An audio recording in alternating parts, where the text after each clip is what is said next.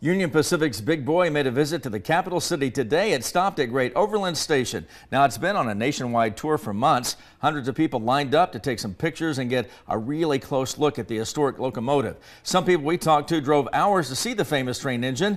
And here's what you may not know about the iconic figure. It was built back in the 1940s in order to move airplanes and soldiers across the country. They had to build them that big to get them through the mountains as easily as they could while carrying that excessive cargo. Many of us here at the station watched it kind of pass by, and that was roughly mid-afternoon or so. It's heading out west. The next scheduled stop is Salina Depot, and you can get a look at it in Salina from 9 a.m. to 1 p.m., and then it moves on to Colorado.